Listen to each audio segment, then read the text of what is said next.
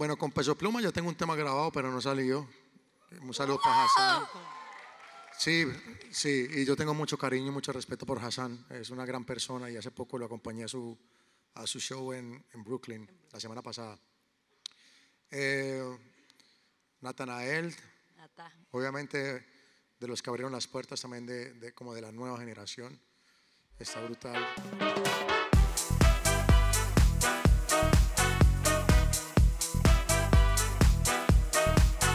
Bienvenido otra vez a Latin Music Week. Gracias, gracias. Buenas tardes. Buenas tardes. Han sido un par de años desde que viniste. Uy, hace por ahí cinco años, no, si no es más. Sí, yo creo que Sí, más. sí. Ahora, José fue, creo que el segundo panel urbano que hice en Billboard Latin Music Week y tú lo curaste y se llamaba The Future of Reggaeton, ¿te acuerdas? Sí, 100%.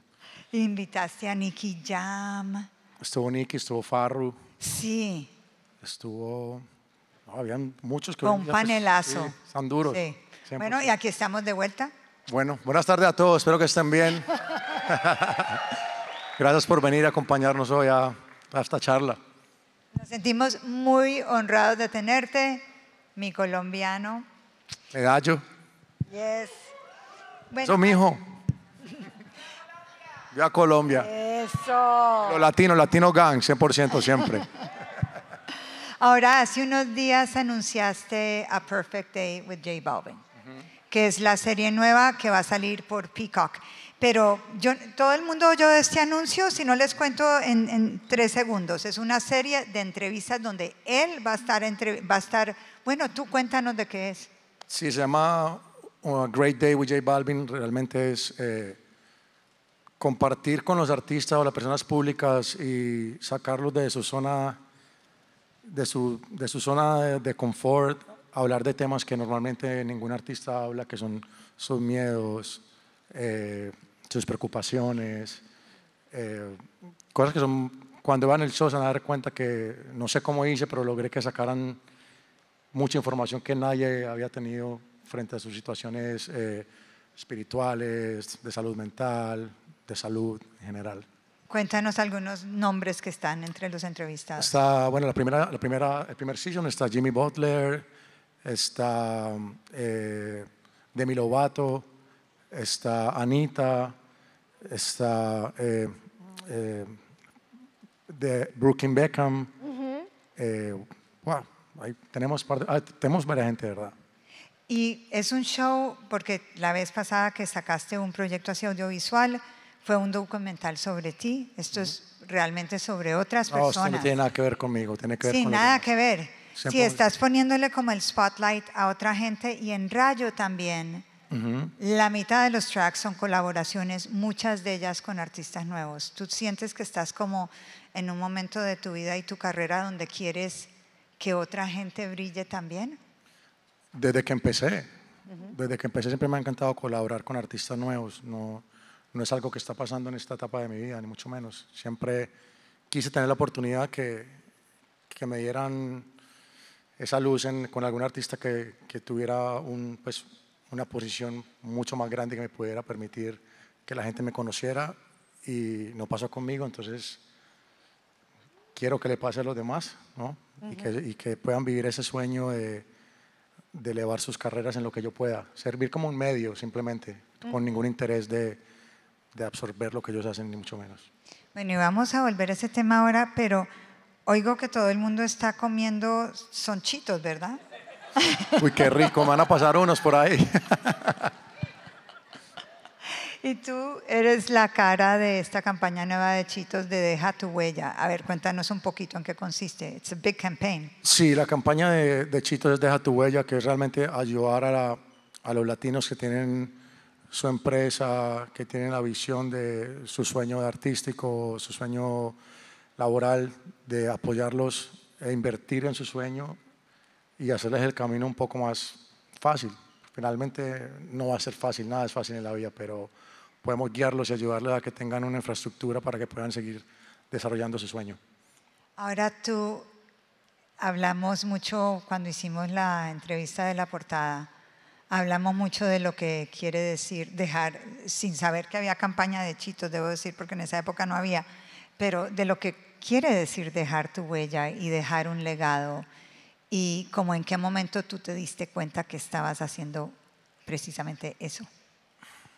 Todavía falta mucho, la verdad, pero pienso que siempre mi, mente, mi mentalidad ha sido no sobre José o sobre J sino sobre la cultura latina en general. Por eso empezamos con lo de Latino Gang. Realmente de, antes a los latinos como que nos sentían, ahora nos están viendo.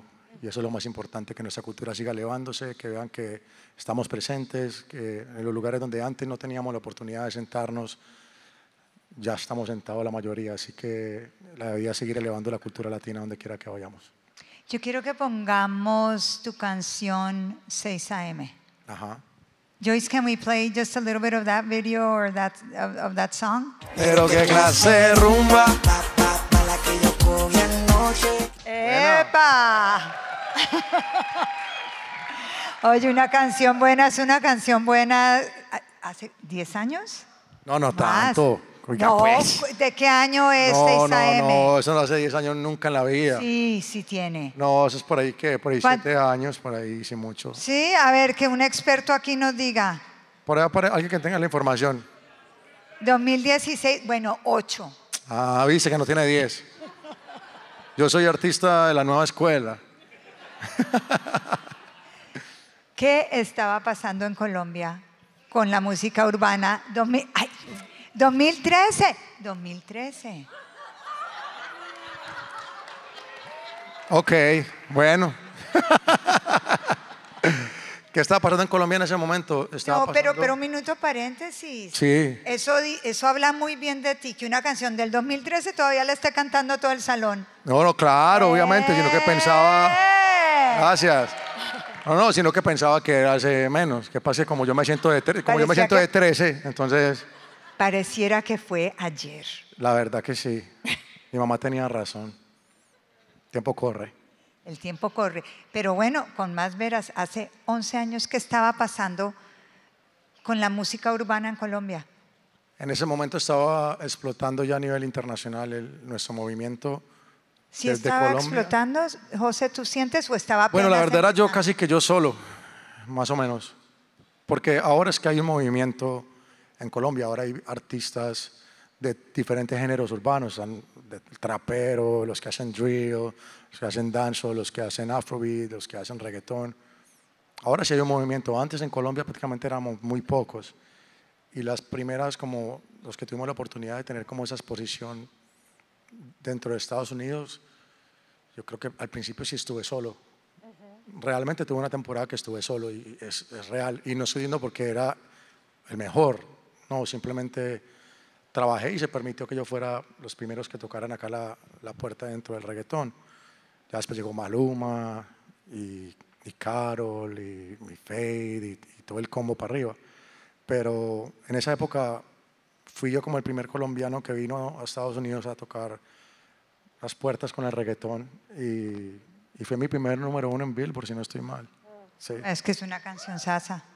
Ahora mencionas a Carol y me encanta porque Carol y tú se conocen hace mucho tiempo y ella es amiga tuya y de hecho te invitó como guest artist en su show del estadio en Nueva York hace eh, seis meses. Sí, por ahí. Sí, sí, sí. Fue un momento muy lindo, la verdad, porque Carolina es una persona que hay que admirar y respetar muchísimo, porque me tocó ver todo su proceso, toda su paciencia, su resiliencia frente a aguantar, aguantar y aguantar hasta que llegó su momento. Pero yo siempre supe que se le iba a dar y ella sabe, siempre tuve fe que iba a llegar su momento y pienso que apenas empezó su momento. Creo que falta mucho por hacer. Ella es definitivamente una mujer que empodera fuertemente a todo el mundo, no solamente a las mujeres, a, todas las personas a soñar que, que sí se puede. El respeto para mí, para Carolina, es, Carol es increíble. Ah. Ahora hablábamos el otro día de uno, que, y, y lo digo porque hay muchos nuevos artistas acá, muchos nuevos managers, muchos nuevos promotores, mucha gente que está tratando de abrirse un camino en, en un mundo de muchísima música, es difícil sobresalir. Y uno que hace cuando no hay un mapa, o como dicen en inglés, cuando no hay un blueprint. Cuando tú empezaste, tú sentiste como que esto no va a poderse dar porque no hay nadie más haciéndolo No, no como te- lo hago. No teníamos mapa, pero teníamos ganas. Creo que eso es lo más importante, porque obviamente el reggaetón, Puerto Rico, los pioneros del género como tal, pero yo no tenía un referente al lado. Yo tenía a Juanes, tenía a Carlos Vives, tenía a Shakira, pero ninguno de ellos podía seguirle su mapa porque finalmente es un género totalmente diferente. Y cuando yo me decidí ser artista dije, ok, tenemos Shakira, tenemos Carlos Vives, tenemos a Juanes y el que se me olvide, que me disculpe. Eh, pero falta un artista de reggaetón que represente a Colombia. No lo tenemos. Y yo vi la oportunidad para poder lograrlo. Pero fue muy difícil, la verdad, porque quitar ese mito frente a que solamente los artistas de Puerto Rico podían hacer reggaetón fue una tarea supremamente difícil, porque es cambiar el concepto de la mentalidad social. No era como que solamente de la industria, sino realmente del público en general. Si no era de Puerto Rico, no era reggaetón. Y si el reggaetón era de medallo, era como que, en serio, reggaetón de medallo. Y sin embargo, lo que yo vi fue una gran oportunidad. Al principio fue muy difícil, obviamente, porque recuerdo que cuando empecé a sonar la radio, la gente, ah, ¿de dónde es? De Medellín. Uy, ¿cómo así? Uy, lo vamos a bajar. Pasaba cuando sabían que no eras de Puerto Rico, decían, ah, esto no puede Pasó en, ser algún, bueno". pasó, pasó en algún lugar, en algunas ciudades pasó, no en Medellín, pero sí pasó en algunas ciudades por fuera. Pero yo no me tomé personal, la verdad me llenó más de, de más gasolina para elevar, pero sí me tocó con un machete, con Pope y con el árabe, que éramos tres empezando, con un camión atrás, o sea, buscando cómo abrir el camino. No sabíamos cómo, pero sabíamos que lo íbamos a lograr y, y aquí estamos. Fue muy difícil porque educar a la radio frente a que artistas colombianos haciendo reggaetón, educar a la televisión, artistas urbanos colombianos, a la- al público en general, a la industria después en, en Estados Unidos, a la industria después del resto de México, por ejemplo. Fue una tarea súper tediosa. Y una cosa que, de la que tú has hablado antes, pero me gustaría repasarla ahora, era que antes de grabar, antes de tener ningún hit, también tú y Carol también hizo lo mismo. Ustedes hacían ese paseíto por todos los colegios de Medellín, en tu carro que se llamaba Rayo, ¿no? Sí, Y ahí radio. el nombre del disco. Por ahí está mi primer Volkswagen. Sí, sí, sí.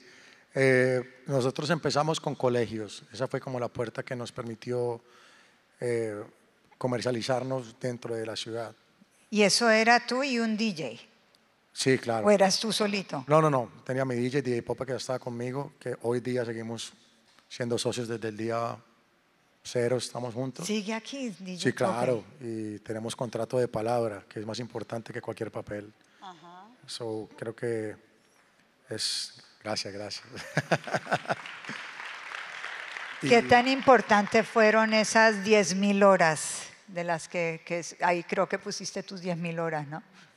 Hicimos como un millón y medio más bien, porque la verdad fue mucho trabajo, fue muy, mucho trabajo, pero le agradezco muchísimo a, a- a todas las personas que me dieron la mano, porque los colegios, después universidades, fuimos subiendo de nivel, de colegio a universidad. De universidad después fuimos un PhD, pero fuimos haciendo realmente muchos procesos, todos los barrios de Medellín, todos los barrios de Bogotá, los barrios de Cali, de Barranquilla, o sea, Colombia entero lo hicimos, y así fue que nos dimos a conocer, porque acuerda que no había no había, las, la- no había Spotify, no había nada de tipo de, de medios para... Había YouTube, que sí ayudó muchísimo, sí. Sí. Había YouTube. Ahora quisiera que escucháramos un poquito de Mi Gente. Joyce, ¿podemos poner Mi Gente? Suéltelo. Si el ritmo te lleva a mover la cabeza, ya empezamos como es. En, en mi opinión, esta es la canción que te llevó de ser un superstar latino a un superstar global. ¿Tú lo ves así? Eh, bueno, posiblemente así lo veas tú. Yo creo que todavía no ha salido mi canción por ser de lo que... creo que todavía falta mucho, pero, pero lo que estaba viendo es que no sé cómo pude con ese pelo que tenía en ese video. ¿Qué me pasó? Ay, a mí me gustaba el pelo. Estábamos, estábamos preocupados por el pelo. no, no, no Como Daniel el travieso un poco. Sí, sí, sí. Pero obviamente, sí, mi gente me dio muchas bendiciones. Eh, sí, obviamente hizo parte de mi globalización como artista de poder sonar en Lituania, en Tailandia, en Indonesia, en Rusia, por el mundo entero. Creo que eso fue como un antes y un después de mi carrera, sin duda alguna. Y ahí fue ya la tarea más interesante de cómo seguir penetrando en otros mercados que no fuera solo Latinoamérica. Obviamente siento nuestra prioridad, pero el mundo es muy grande para seguirlo. Y cuando pasa algo así con un éxito tan grande, eh, eso se vuelve como un shock al sistema Sí. de alguna manera. Normalmente el que sigue uno siempre se descacha. O sea, descachar es como que no le funciona, porque uno piensa que la música tiene fórmula y, y no tiene fórmula. Entonces uno dice, ah, ok, se pegó de esta manera, entonces vamos a otro ritmo de esa manera parecida y después eh, no pasa nada. So, yo creo que eso es lo bueno de la música, que apenas pegas una de ese estilo y tan única, mejor dejarla quieta para que no la comparen y ir totalmente para otro lado que, que no tenga nada que ver con el sonido. Ya después de ahí, sí logramos mucho más éxitos globales, pero después de mi gente, sí me, ahí no fue que la otra la pegué inmediatamente así. Después llegaron muchos años de, de pegarla bastante, pero ahí uno empieza a leer el público. Sin embargo, hoy en día, imposible de leerlo tal cual. Diferente a cinco, hace cinco o seis años, ¿lo ves?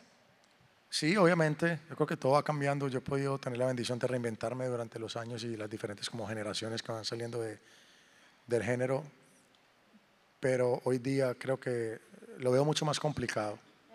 Lo más complicado porque hay muchos más artistas y entre tantos millones de canciones que salen, que la tuya resalte, tienes que estar más enfocado realmente es en tu fanbase, en tu familia, en tu, en tu círculo de gente que te sigue y es- estar concentrados en ellos y darle como un super service A los superfans. a los superfans, 100%.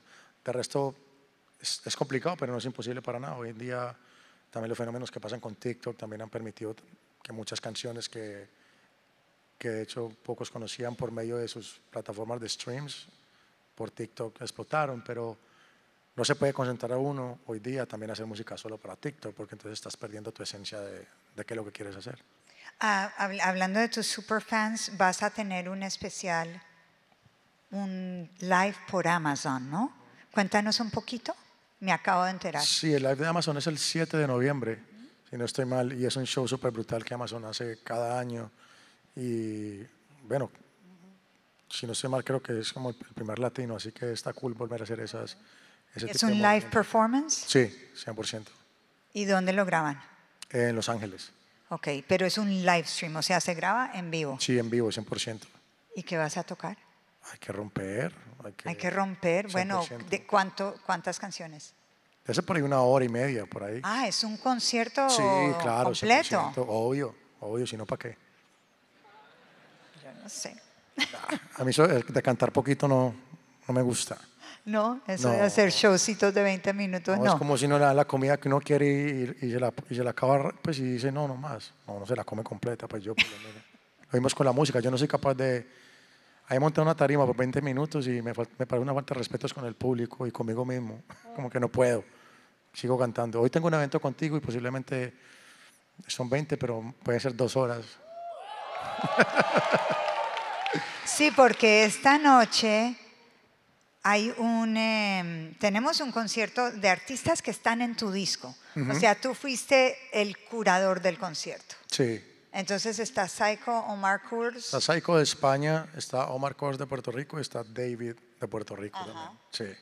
todos los puntos del globo representados. por todos lados. Y aquí está pues el colombiano representando y espero que el próximo año, si lo podemos lograr nuevamente, seamos pura gente de Colombia también, Wow, ok. 100%. Ahora, José, tú em, hace como tres, cuatro años tuviste toda una, una eh, como Una un- racha. Una racha, sí, tuviste una racha que empezó con Residente y terminó con Residente, pongámoslo de esa manera, donde tuvieron ahí una serie de back and forths online, en, en Twitter, tú criticaste a los Grammys, él te criticó a ti, eh, después hubo una, todo un asunto con un video de Toquisha que eventualmente tú bajaste de YouTube. Me pasó la tripleta completa. Sí, Sí, vinieron tras de a otra. tres, una tras otra. Em, y no sacaste un álbum en un par de años, pero, Pero sí no saqué sacaste álbum. canciones. Pero no saqué el álbum por eso, yo no le voy a dar el gusto. No, no, yo sé, yo sé. Mucho menos. No, no, no. Realmente después de, de- de- de esa tormenta que me cayó y ese, ese terremoto, pues aquí estamos y me siento cada vez más fuerte y mucho más maduro que antes. Y muy bien por ese bu, realmente es lo que importa. ¿Sí? Pues es que Sí. las carreras creo que es importante hablarlo aquí porque, como decía antes, hay mucha gente que está empezando sus carreras y las carreras suben y bajan. Sí. Y los obviamente. momentos son buenos y son malos y son buenos y son malos. ¿Y cómo los sobrellevas tú? Yo creo que uno aprende más de, de- de las pérdidas que la ganancia, ¿no? Yo creo que siempre que cuando todo está bien es porque algo está mal. O sea, hay que preguntarse, cuando todo, porque han sido, no sé, como 13 do- años donde hemos hecho tantos número uno sin parar por mucho tiempo, eh, cuando sientes el primer golpe, porque yo me sentía como, yo me reía y todo, yo, porque estos manes les pasa todo eso, a mí no me pasa nada. Y yo era como que, y después cuando me pasó a mí, yo dije, ah, ok, yo no era la excepción, a mí también me toca. Y me sirvió mucho, de mucho aprendizaje, me sirvió para saber quiénes son mis amigos y quiénes, son mis quiénes no son mis amigos, para entregarme más a mi familia, a mi esposa, a mi hijo, a mis amigos más cercanos. Mucha gente realmente tuvo una actitud muy bonita conmigo, de acompañarme durante ese momento de oscuridad. Gracias a Dios llegó Río, mi hijo, y ahí ya como que mi vida se volvió a iluminar más que todo. Pero es bueno saber que hay momentos complicados en las carreras y en la vida como tal. Eh, toda mi carrera fue muy tranquila y nada de escándalos y después pasaron escándalos buscados, otros no buscados, otros llegaron por conveniencia de otras personas, otros no, pero sin embargo me mantuve sólido, la verdad, apegado a mi familia y no hay nada que el poder de la música y el de arriba no pueda solucionar, so, aquí estamos. ¿Cuál fue como tu gran lección? ¿Esa? Mi gran lección es que fueron muchas, porque es que el bate llegó por aquí, otro bate llegó por acá, otro bate llegó por la espalda, cuchillo de frente, un tanque por allá de diagonal, sí, un helicóptero, hubo muchas cosas, pero la verdad, que aprendí? Aprendí a, a- ser resiliente, a, a rodearme mejor de las personas, en no confiar en todo el mundo y ser tan tan abierto a, a- a regalar mi corazón así fácilmente. Sin embargo, mi naturaleza está siempre en ser noble. O sea, eso es mi madre que me enseñó. Entonces, sí tuve un momento en que me volví muy desconfiado, no quería hablar con nadie nada, ni contarle nada, ni mis emociones, ni mis sentimientos, hasta que después dije yo como que, bueno, si me llego de rencor, a la final el único que se está metiendo ese veneno soy yo. Las otras personas están totalmente tranquilas. Entonces, me llené de mucha sabiduría en ese sentido. Mi madre, mi mano derecha durante todas las situaciones, ella fue la causante que dijera, no responda, no diga nada. Y después del de arriba sigue mi madre y yo lo que ella diga lo voy a hacer, ¿no? Y ahí vamos. Pero pasamos muchas experiencias que hoy en día miro para atrás y digo, ah, qué bueno que pasaron, porque cuando vengan de nuevo, la vamos a tomar con mucha más madurez y mucha más tranquilidad. Ya es muy difícil que alguien me quite la paz, la verdad. Sí. Ahora en, el, en Rayo, el disco nuevo, eh, hay muchas voces nuevas, como hemos estado diciendo. Están los tres que van a tocar esta noche, pero hay muchos más. ¿Cómo tomó ese álbum ese rumbo? Porque entre, ah, bueno, pues oigamos la canción con Fercho. Ah, dale, doble show. Dale. Let's go. Fe- eh, Joyce, can we play that one? ¿Cómo fue que iba a ser solo avise? No está buscando que la. ¿Te gusta colaborar con el Fercho, no? es que es muy buena. Él estuvo aquí ah, el lunes. Sí, yo vi a Fercho por acá, claro, sí, pendiente de los parceros, 100%.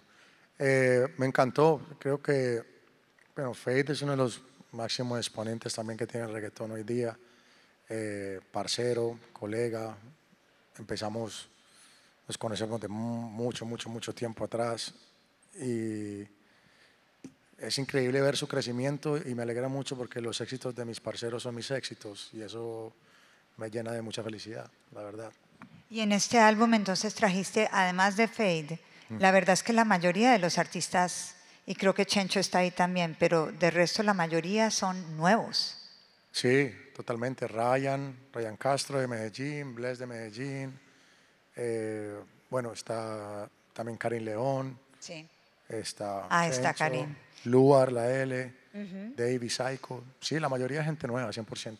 ¿Y ese fue tu ánimo cuando empezaste a hacer el álbum o sencillamente empezó a pasar así? Es que este álbum se hizo en dos meses. O sea, no es que yo los tres años que no saqué un álbum estuve trabajando tres años en un álbum, que pues no, no, no, no tendría sentido la verdad. Pero hace como, no sé, ocho meses empecé este álbum eh, aquí en Miami casualmente, sin ninguna búsqueda de hacer un álbum, sino de pasarla bien en el estudio, como cuando empecé, que no tenía ninguna pretensión, sino de, de ser feliz haciendo música, comunicándome con mis amigos, con mi madre, con mi padre, con mi novia en ese momento. Entonces yo creo que hoy en día, gracias a Dios, poder hacer la música no desde la necesidad, como lo hacíamos antes, y poderlo hacer desde, otra, desde otro punto de vista y desde otra situación, me permitió volver a conectarme con ese niño interior y disfrutar de la música sin importarme si vende o no vende. Es realmente lo que me haga feliz a mí.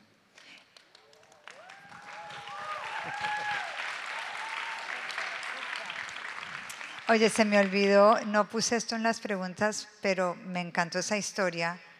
Eh, este año tocaste en Coachella también. Invitaste a Will Smith.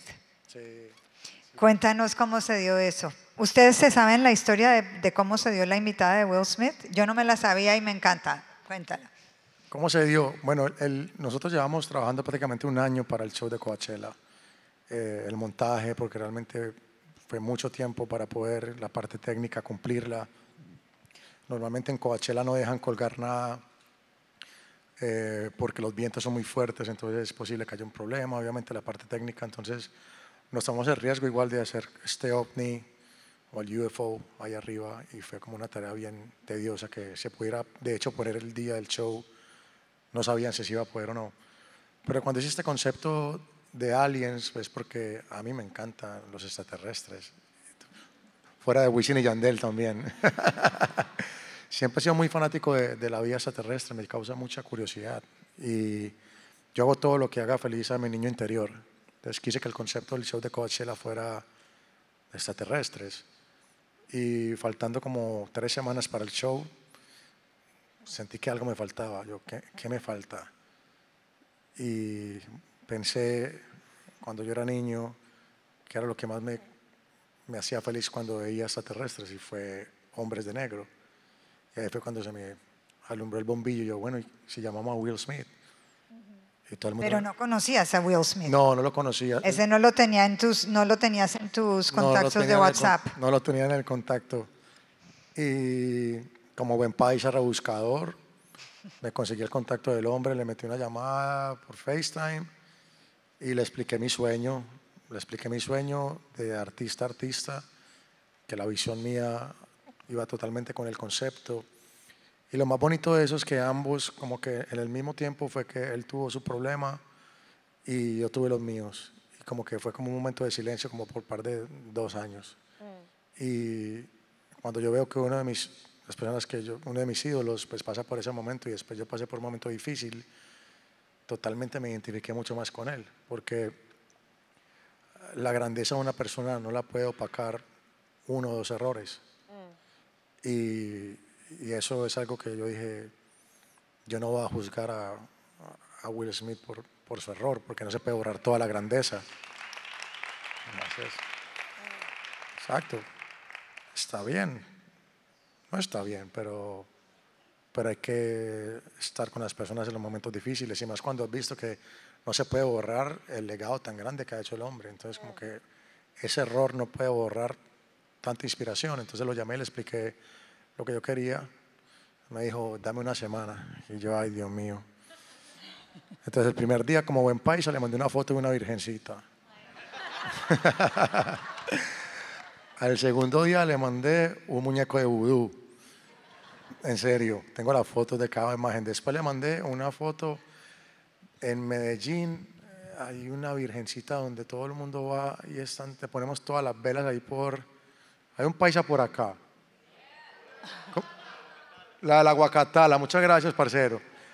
La virgencita de la Guacatala. Entonces, yo me acuerdo que cuando yo iba a rezar allá antes, prendía mi velita, a pedir por mi familia, por, por, mis sueños. Entonces volví y dije a un parcero que fuera y le tomara una foto del- con la fecha, foto de periódico al lado. y le mandé, el man siempre le daba risa.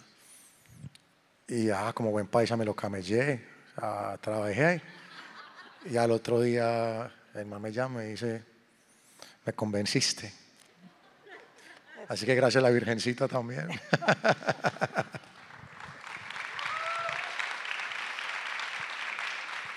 Oye, José, está, se nos acabó el tiempo, pero como es el último del día, me voy a ¿Por tomar una licencia de cinco minutos. ¿Una qué? Una licencia de cinco minutos. Sí, claro, lo que quieras. Yo me quedo aquí a hablar. Hay cafecito. Ahora, eh, decíamos el otro día que no hay OGs urbanos No, no tenemos. en el mundo latino todavía. En el mundo latino no tenemos el primer viejo, viejo de reggaetón. ¿Ustedes han visto alguno? Que yo no lo he visto. Pero Eh, eh, como que. eh, díganle Yankee, eso a Daddy. Yankee. Yankee se. Yankee se ve como de 12. Yankee es al revés, se va poniendo más joven cada vez que pasa el tiempo y lo sabemos. Yankee, ¿cuál es la clave?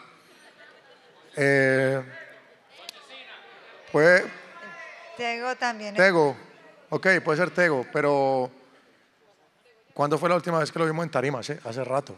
O sea, no hemos visto, Tego, así bien, bien. exacto, como un show, show, no, no lo hemos visto. O yo no he tenido la bendición de, de verlo. Pero todavía no tenemos el artista que veamos ahí, está viejo. Sí, tiene no tenemos. 70. No. Búsquenlo, me avisan, me mandan una foto. No hay, pero a mí me gusta eso y, y va, a ver, va a ser cool cuando veamos cuando llegue ese momento cómo va a ser la interacción con el público, cómo lo van a tomar las otras, las otras personas, las, las nuevas generaciones. Es interesante. O sea, quiere decir que esta- a este género le falta cada día muchos más años. Tú quieres ser el OG, quieres ser un OG en, a ver, 30 años. Sí, claro. ¿Cómo te quieres ver? Yo quiero durar más que Yankee. Sí, yo siempre lo he dicho y él lo sabe. Yo quiero ser uno de los que más ha durado vigente sin forzar, de una manera natural, que no se note. O sea, mis letras tienen que ir evolucionando y la música, pero no puedo estar cantando letra de un niño de 15 porque me va a ver chistoso. O sea, está bien que el sonido y los versos se comunican con los pelados, pero hay palabras que no me van a quedar porque ya soy un padre de familia, porque estoy en otra vuelta, porque simplemente no van con mi estilo, pero, pero desde que uno no lo esfuerce y que se vaya dando natural, si me puede dar hasta los 60, voy para adelante y sigo para encima, 100%. Like it. Okay. Además tengo 20 23 años. pues, Además, falta, falta mucho. ¿Cómo? Somos dos, ¿cierto? Sí. Bueno, yo voy a terminar con unas preguntas rápidas. Y no vamos a poner el público a hablar ni siquiera, no vamos a tener nada. ¿Tú qué? Claro, sí, ya estamos aquí, ya parchen. Si él dice que sí, Sí, sí, obvio. Hace rato no vengo acá. de verdad no tenemos mucho tiempo, me van a cortar la cabeza porque me pusieron más porque pedí. Sí. Eh, ¿Quién? bueno, a ver, tres preguntas. Ay, my God, no me pongan a mí a escoger, qué estrés.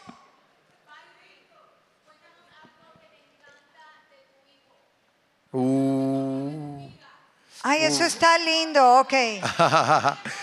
Lo que me encanta a mi hijo es que yo pensé que iba a ser su maestro y él es el maestro mío.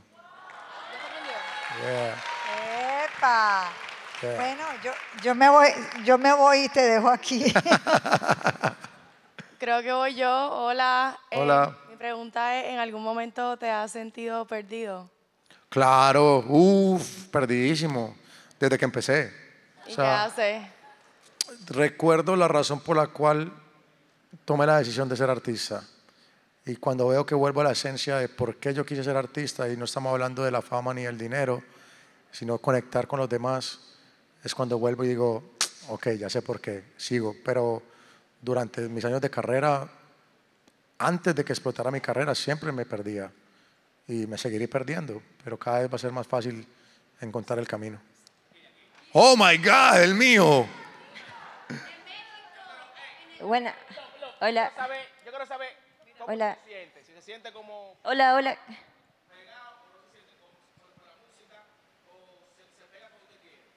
Es un buen punto. La verdad me siento empezando, me siento como un artista nuevo. Como que a partir de, de Rayo empezó una nueva temporada. Y como siempre, estaba entrenando ahí en el partido, tan, empezamos con doble show, brutal con Fade.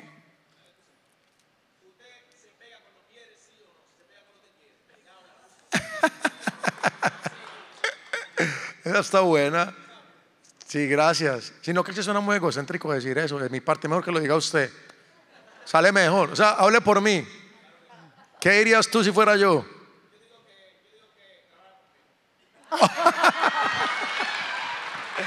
va, va.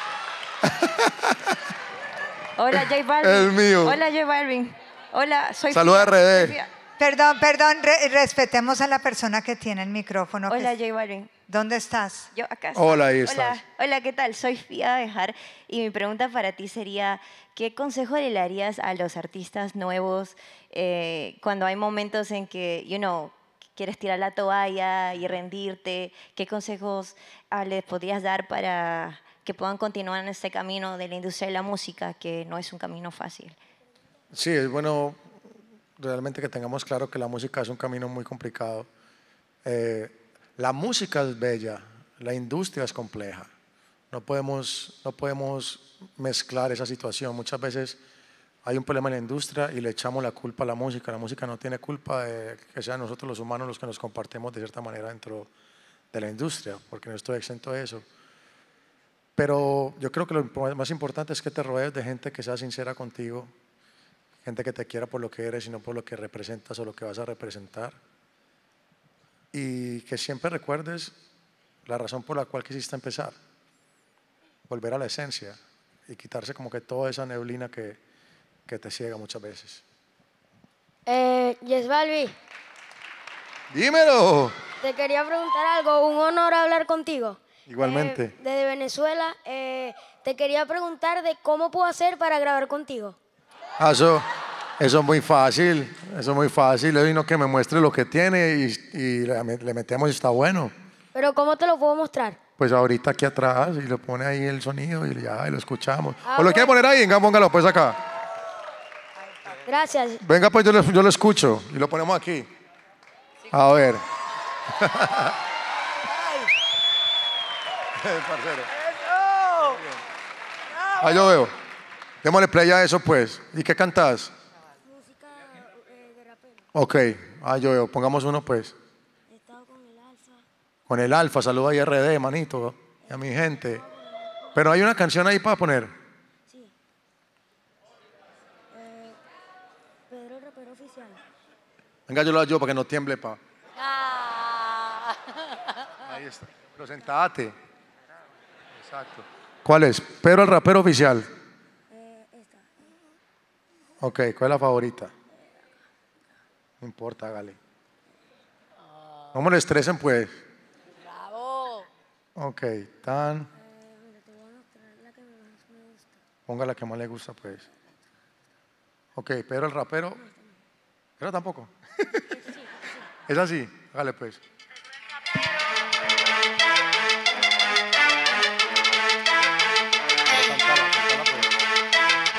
No preguntes por la fama que mi enfoque no está ahí. Y tú sabes bien que eso es así. Les dije, soy diferente y preguntaron, ¿cómo así? Y enseguida yo le respondí que tengo la retro 1, pero el flowcito nuevo. Tranqui, homie, que no retrocedo. Yo sé que soy pequeño, pero para mí no es juego. Soy la pieza que no encaja en ese lego. Tengo la retro 1, pero el flowcito nuevo. Tranqui, homie, que no retrocedo. Yo sé que soy pequeño, pero para mí no es juego. Soy la pieza que no encaja en ese lego. Lego.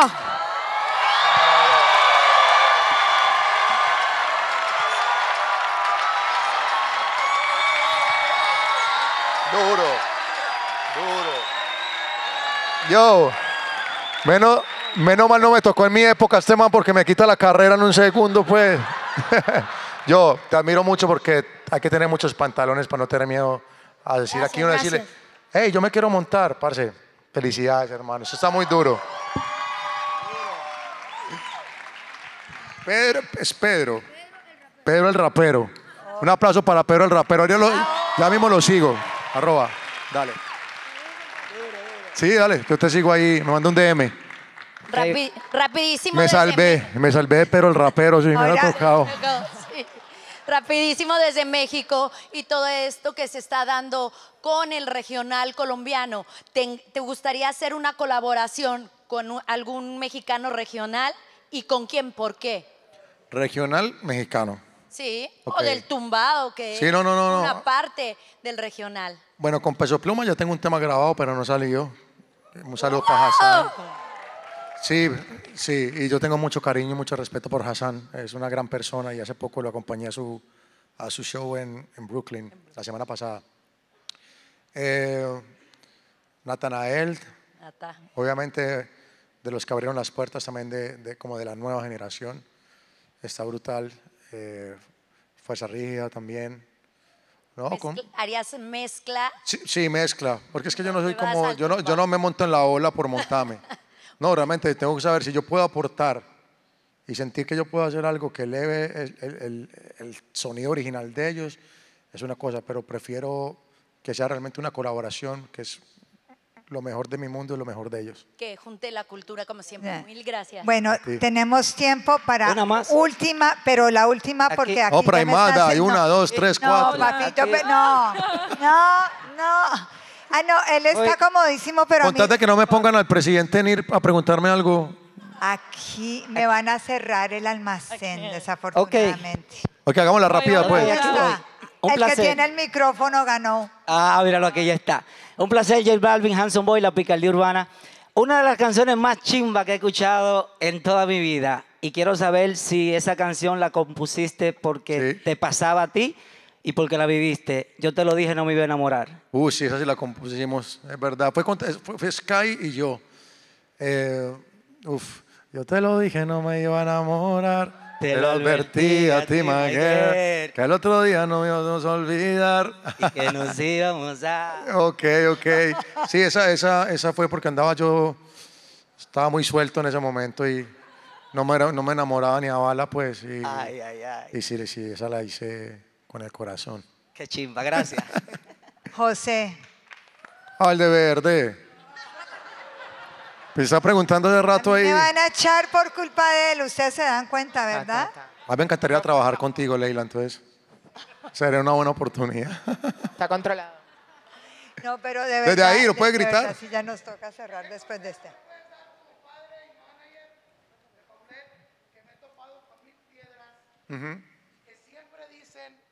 que las mujeres no caben en el género, en cualquier género. Pero es que uno está viendo a Carol G. No, no, sí, pero mira, de nada sirve, por ejemplo, le he mandado mil mensajes a tu manager. Porque ¿Pero a cuál? Paulette ha sido, es escritora, es compositora Sí. y aparte es cantante. Así como le he mandado, cansado de mandarle a, a muchos. Pero si le mandó a mi papá, mi papá ya no trabaja conmigo. No, no, no, no, no. Pero bueno, al, al- al último tengo que hacer un- el camino, ¿no? Porque Sí. todos los días hoy, de que me levanto, como Paulette, desayuno Paulette, ceno Paulette. Amén. Todo el día Paulette. Amén. ¿De acuerdo? Amén. Entonces me toca cuidarla, me toca tratar de sacar lo mejor de ella. Mi, pro- mi consejo para ti, que tú quisiera que me dieras a mí, ¿qué más puedo hacer para poder tocar las puertas y tratar de que ayudar a las demás mujeres? Porque estoy cansado de que en todos lados me digan, ah, no, es mujer, no va. Ah, no, es que las mujeres no caben en ningún género. Inclusive en el género mexicano hay agregadoras que las, las, las presidentas son mujeres y me han dicho, no, no te preocupes, justo. Eh, por más dinero que tengas, Paulé no va a pegar. Lo más importante, ¿tú crees eso? No, Entonces no le mira, creas. yo cuando empecé, yo, era- yo fui Deja. político en México. Deja, Ok. deja- deja y que, anduve que José casa te por diga. casa tocando puertas. Sí. Y en mi primer campaña todo el mundo me decía, no vas a ganar. Gracias a Dios a la tercera campaña gané. Exacto. ¿Ok? Entonces, Lo Entonces te pueden cerrar las puertas mil veces y hay que seguir tocando hasta que a las 3000 abran la puerta. Gracias. Gracias. José, gracias. No se pierdan a José el jueves que se va a ganar el premio Spirit of Hope por su Gracias. Vibra en Alta Foundation.